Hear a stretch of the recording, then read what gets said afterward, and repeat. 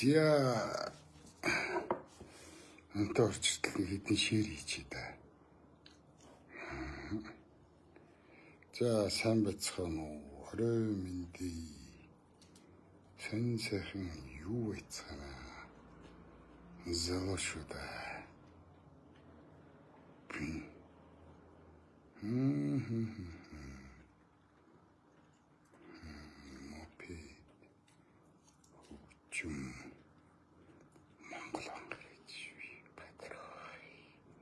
Бадрой, бадрой. Мм.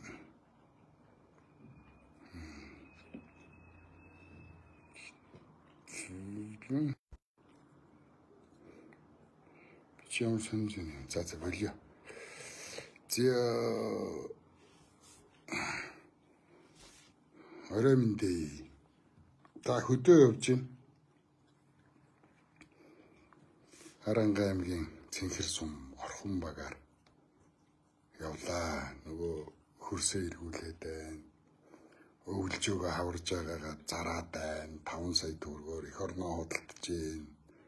Тэгээ нэг бүүн юм болсон. Тэгээ энэ тухай үний юм уу зөв юм уу худлаа юм уу гэдэг тухай нэвтрүүлэг хийж явнаа. За миний лайв хийдгийн зүгээр гол зорилго нь бол Путин хэрэгтэй холбоотой. Оросын холбооны улсын ерөнхийлөгч Путин Монголд айлчилж байгаа. Тэгээ энийг ухтаад одоо энэ либералууд ингээд дахиад солиороод эхэлсэн. Путиныг барьж авна гэх юм. Путин Монгол дээрээ та нарт баригдаал тий. Олон улсын шүүхээс Путиныг цэргийн гинтэрэгт ингээд зарласан. За олон улсын гэдэг нэртэй боловч энэ бол Америк нэгдсэн улсын л хийж байгаа ажил. Би танарт удаадараа хэлж байгаа. Дэлхийд гурван том хүч бий. Нэгдүгээр санхүүгийн хүч. Эдийн засгийн power те. А хоёрт нь бол хэвлэл мэдээллийн гурав нь бол а цэргийн хүч гэж те. Гурван том хүч байгаа. Тэгэхээр Америк нэгдсэн улс бол дэлхийн хэвлэл мэдээллийн нөлөө бүхий хэвлэл мэдээллийн байгууллагуудын 85%-ийг өөрийнхөө хэрэгшээл байлгадаг. Тэгээ энэнийхэн тусламжтайгаар дэлхийн хүн төрөлхтний тархийг бол асар хүчтэй угааж байгаа. За Оросд тайм болж байгаа гэж яриад байгаа. Оросд ерөөсөө тайм болов. Эхлээд та нар нэг жоохон юм мэддэг болцгоо. Украин тайм болж байгаа. Украин улс тайм болж байгаа. Оросд бол ерөөсөө нэгч тайм болоогүй. Орос угаасаа өөрийнхөө нутагт тайм хийлгэхгүй. Энэ тухай. За ингээд мэдээж одоо мэдээж Усама бин Ладен ч юм уу, тийм Муссолини ч юм уу, Садам Хусейн ч юм уу эдгээр шиг цэргийн гэмтэрэгтэн гэж дарангуулагч гэж үзэж байна. Энэ бол хүн төрөлхтний тарихыг угааж байгаа асуудал. За ингэхлээр одоо намайг Орсын холбооны улсын тороол мархал Орос улс одоо намайг тоож тороолоо боддог болгодог бол сайхан л байна. Намайг данч тоохгүй л дээ.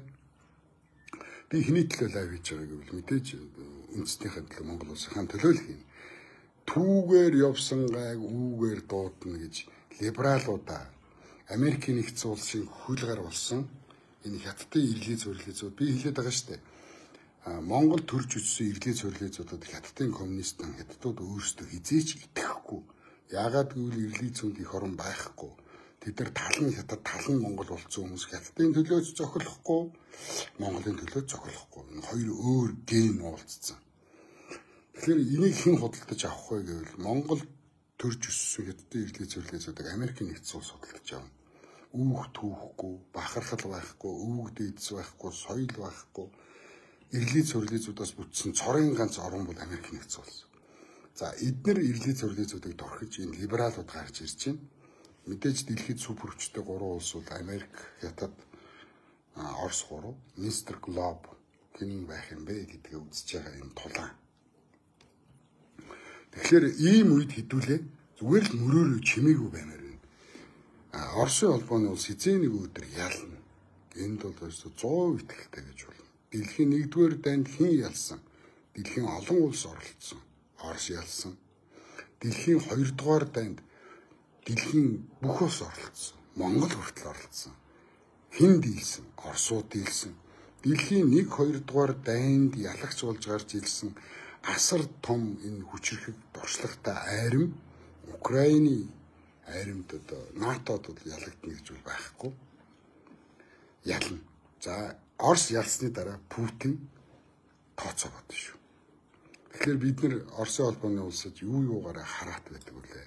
Мэдээж нэгдүгээр цахилгаан, хоёрдугаар бензин. Бензин шатхуун туслах материалын хувьд бид нар 100% харьяат тог цахилгаан эрчим хүчний хувьд бид нар 50% харьяат байгаа шүү дээ. Тэгэхээр Оросууд бид нар ингээд нэг каран таахтал бид нар дуусаа. Монгол улсын бүх техник зогсно. Бид нар гимт хэрэг гарахад цагдаа очиж чадгаа байна. Осол аваар гарахад онцгой байдал очиж чадгаа байна. Хин нэгний манд бие өвтөхөд төргөн тусламж үзүүлж чадгаа байна. Одоо би арангаад явж байна. Миний бие бумуудлаа гэхэд би Улаанбаатар хот хүртэл алхаж чадахгүй. Тиймээс а ингээд э, талхчгэр компани маань талхаа тарааж чадхаа байна. Махын пикс махаа тарааж чадхаа байна хүнсний хомсдолд орно. Үүмэн самуун дэгдэн ойролцоох дэлгүүрээ хүмүүс томж дээрэмдэж эхэлнэ. Бензингүй бол Монгол улс дуусаа. Бид нар сүрнэ. Тэгэхээр энэ лалруудын үгэнд битээ ороорой. Наад бол чи Америкийн нэгдсэн улсын санхүүжилтээр ингэж амтны тарих угааж бид нарыг хаглан бутгаарч байгаа. Бидний урд дэлхийн супер хүчтэй хятадулсан. Бидний хойно дэлхийг айлгадаг Орос гүрэн байна бидэрт 3 дахь хөрш байхгүй 3 дахь хил байхгүй. Америкийн нэгдсэн улс Оросын холбооны нутаг дэвсгэрийг туулаад агаарын замаар бидэрт туслана гэж хизээч байхгүй. Хятадын нутаг дээгүүр нисч НАТО орж ирнэ гэж хизээч байхгүй. Бид урд хойно асар том хамгаалттай асар том хаалттай болсон Тэгэхээр Америкийн нэгдсэн улс зүгээр л хэвлэл мэдээлэл интернет, Facebook, YouTube, Instagram юу гэдгийг энүүгээрээ та нарын тарихыг угаагаад Америк нэгдсэн улс биднэрт нэг ширхэг будаа өгч чадахгүй, нэг ширхэг цэвэр ус өгч чадахгүй. Оросын холбооны хил дээгүүр л давж орж ирнэ шүү дээ. Оросын холбооны хил дээгүүр агаарын дээгүүр агаар дээгүүр явж байгаа онгоцолгоныг Оросууд буудаж сүнэж чадна. Тэгэхээр Оросыг давж Америкчууд бид нар туслана гэдэг үлгэрт битгий идэг. За юу. Би бол зүгээр эх орноо бодож байна. Дотроо битгий хагаралтаад Путинийг ирэхээр барин 20 ална юу хуцаад байгаа биз та нар бай. Ард иргэдийг ингэж талцуулахаа бойл. Энд нь итгэхээ бойл тэнийг хүмүүсээ.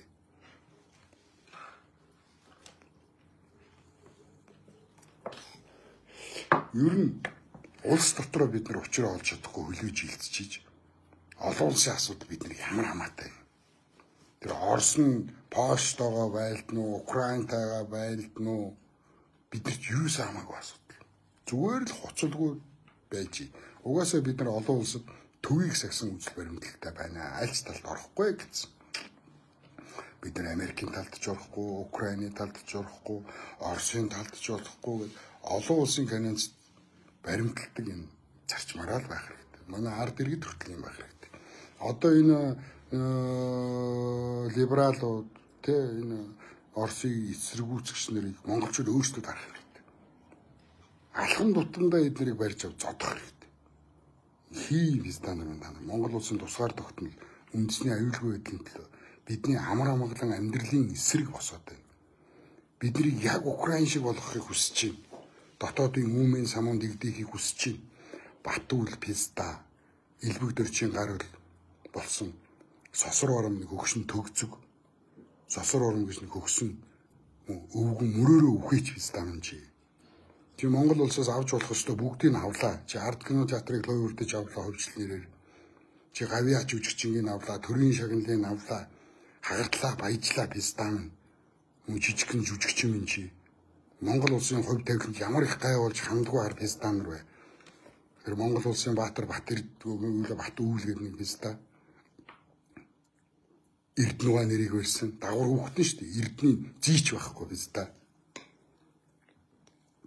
Монгол улсын хууль хүчний байгууллагыг лалрын хууль гаргаж хууль зүйн дотоод хэргийн сайд байхдаа Монгол улсын хүчний байгууллагуудыг самарсан Тэмүүжин гэж нэг нохой хятад зурстай нохой либерал нохой баабар гэж нэг нохой хятадтай ирлийз Чи Монгол улсыг одоо яг Украин болголоо дотоодын өмнгийн саманд орхирч чинь энэ тагнуул цагдаа нь одоо юу хийгээд байгаа эднэрийгэ бариач намааг л тагнаа шалгаал байн байн цагдаа нар ирж байцаагаал идэм байлээ энэ Монголыг хаглан бутрагж байгаа дайн нэгдэж байгаа хоёр дахь Украин болгож байгаа самууруулаад байгаа хулгайчуудыг барьж хордгүй юм аа Оросын холбооны ерөнхийлөгч Путин ирэх ёстой. Ирээд юм амлахт нь заахаа гэж аваад ах ёстой шүү дээ. Бензинээр бити таслаарай хаа. Тогоор бити таслаарай хаа. Монголчууд нэг өөрсдөө нэг атомын цахилгаан станцтай болчих. Цөмийн цахилгаан станцтай болчих. Та нар дэмжээч яахаа гэд. Оросын талд байх хэвээр Путин бол шархагдсан баавга. Гааны шүүхэр зэргийн хэмдэрэгт ингээд зарлуулсан. Америкчууд Путиныг барьж цаазлахыг хүсэж байгаа. Шархтцсан цагаан бавгаар битгий оролт. Ойлгож байна. Бидний ард асар том баавга байна, урд том луу байна. Бид нар бол чон шүү дээ. Чон шиг байх хэрэгтэй, үнэг шиг байх хэрэгтэй, залтай байх хэрэгтэй. А би үл хятадын эсрэг байлдыг дайтыг гээгүй шүү дээ. Зүгээр Монголын төрийг Монгол хүмүүлэрт яа, ирлий цурлий зудаа савраа татаач ээ. Эл гэж байгаа Бэвэл үнцэрхэг биш үндэсний үзэлтэй л хүн. Тэгэхээр энэ либералуудаа дар, бодлогоороо дар. Үр хүүхдүүд мань тайван амьдрмаар байна. Дайн дажингүү. Орс гэж их гүрний өстөн болмооргүй байна. Орс орон хизээч Монгол улсад геноцид хийхгүй дотооддоо 152 үндэстэн ястан байгаа. Өөрийнхөө дотоод үндэстэн ястанд хизээч геноцид хийгээгүй. Америкчууд бол дэлхийн 126 улсад геноцид хийсэн. Дэлхийн 126 улсын өв соёлыг устгасан. Уламжлалын эсрэг дайцсан. Ерөөсөө дэлхийг тэр чигт нь ирлий цөрлөзүүдийн өлгий болгохыг хүсэж байгаа. Өв соёл түүх бахархлыг устгадаг ийм гүрэн. 240 жил болохдоо 16хан жилийн дотоодын дайнта бусд нь дандаа гадагшаа дайн хийсэн лалрын овшнууд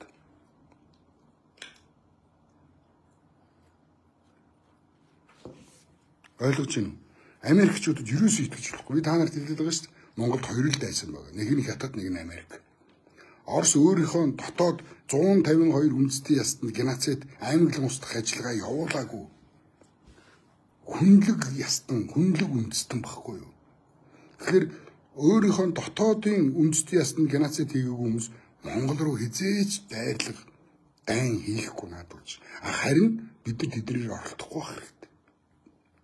Орсуудыг долоож байгаатай биш. Орсуудыг долгонж байгаатай биш. Пялдаж байгаатай биш. Зүгээр л бид нар эх орноо бүтэн байлгая.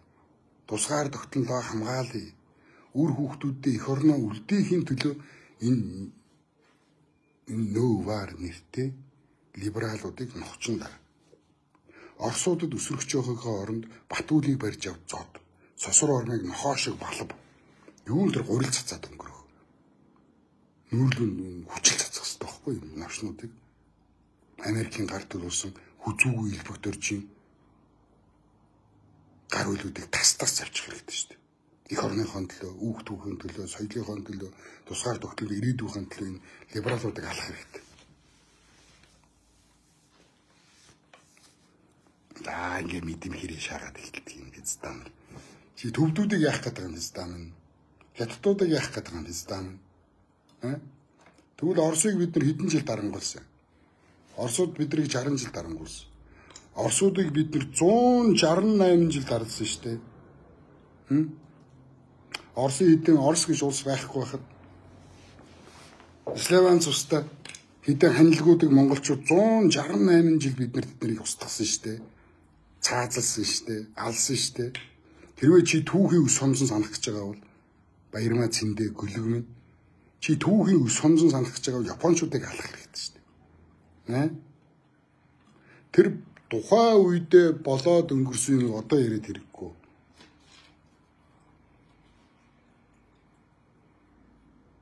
Хогш өөрсдийнх нь хогш яг ч Монголоос цухтаасан. За за ийм байна. Тэгэхээр та нар бити ингэ мэдэмхэрээд юм гүлгнүүд нь зүгээр л сонсоо сонсохгүй зайл. За энэ хитэн либерал нохол ороод ирсэн юм шиг байна. Америкийг дэмжигч биз дээ. Танаа Америкчин Оросын агаарын хэлээр нэвтэрч орж чамд туслах уу биз дээ. Монгол дайн болвол чам шуудаагаар л Америкчууд ч өгөхгүй нохоо минь. Энийг бид хүнжлийнхөө хэрээр хөлөөж мөрөөрөө мөөмөө өнжүүл. Боломжоор боовоо өнжүүлээ явчих юу. Том том шаагаал монголчуудад геноцид хийх гэж юм. Алтан ургийнхны шаасан.